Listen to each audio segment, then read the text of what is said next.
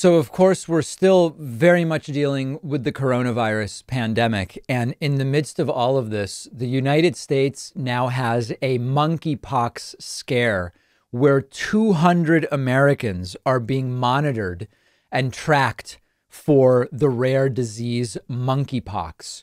More than 200 people. Can you imagine what's going on? More than 200 people in 27 U.S. states are being tracked for possible rare monkeypox infections. They fear people may have come into contact with a Texas man who brought the disease in from Nigeria earlier this month. The man, believed to be the first monkeypox case in the U.S. since 2003, was taken to a hospital but is in a stable condition. So far, no new cases have been found. CDC is concerned passengers who were on two flights the man made may have been exposed. He flew into Atlanta, Georgia from Lagos, Nigeria on July 9th before taking a flight to Dallas, where he was hospitalized.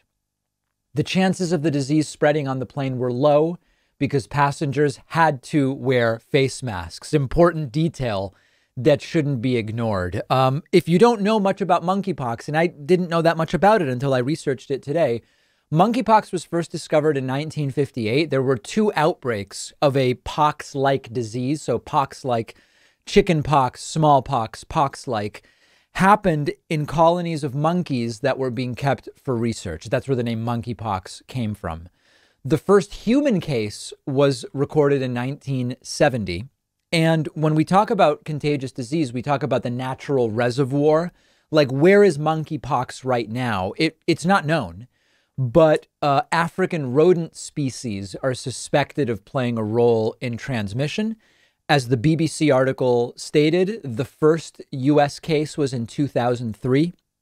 Um, there have been only 47 cases ever in the US. 200 people are now being monitored.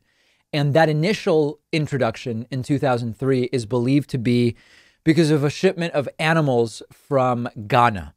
In humans, the symptoms of monkeypox are similar to smallpox, but not as serious. They start with fever, headache, muscle aches, and exhaustion. The main difference between smallpox and monkeypox is that with monkeypox, the lymph nodes tend to swell. The incubation period, meaning the time from when you are infected to when you have symptoms, is typically 7 to 14 days. But like with all of these things, it's on a bell curve and it can actually range from 5 to 21 days. Within one to three days after the start of fever, there will often be a rash, often starting in the face and then spreading elsewhere. It tends to be a two to four week illness. In Africa, and this is a horrifying number, in Africa, monkeypox has been shown to cause death in as many as 10% of those who are infected. 10%. Um, and that just again brings us back to so far, the mortality, the lethality of COVID is under 1%. Um, and we say, you know, imagine if we had a flu with an 8% mortality rate or a 10%. Okay. The virus enters through broken skin, even if the skin isn't visibly broken. It can enter through the respiratory tract, mucous membranes, meaning mucous membrane me- membranes, meaning eyes, nose, and mouth. Animal to human transmission can be a bite or a scratch, preparing meat, contact with bodily fluids, and the most common human to human transmission is uh, primarily through large respiratory droplets. There is no proven safe treatment for monkeypox virus at this time.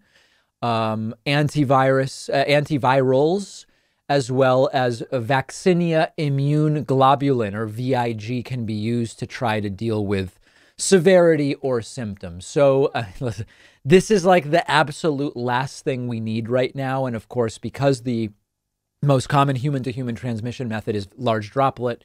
And right now, because of the COVID pandemic, passengers on flights are required to wear masks. The hope is that none of the 200 passengers that have been identified as exposed will actually end up being infected. But not exactly the news that we were hoping for, that's for sure.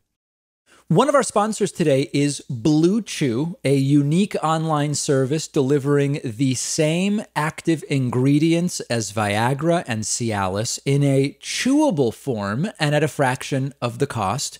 And they're giving my audience an entire month's supply for free. So if you think you could benefit from an extra boost of confidence when it's time, all you have to do is take a short quiz on their website. A licensed doctor approves your prescription. The medication comes straight to your home within days in a discreet package. No driving around to the doctor's office or the pharmacy. No waiting around. No awkward conversations with your doctor. All of Blue Chew's tablets are made in the USA. The entire process is just a few clicks. Go to bluechew.com. The link is underneath this video. They'll give you an entire month's supply for free when you use the promo code PAKMAN, all you have to do is pay $5 shipping.